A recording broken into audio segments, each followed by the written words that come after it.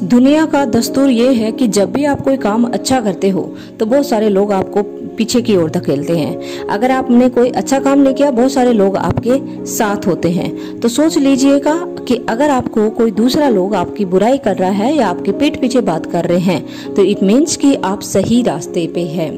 कि जैसे जब रास्ते पर चलते समय मंजिल का ख्याल ना आए तो आप सही रास्ते पर हैं। अगर ख्वाहिश कुछ अलग करने की है तो दिल और दिमाग के बीच बगावत लाजमी है।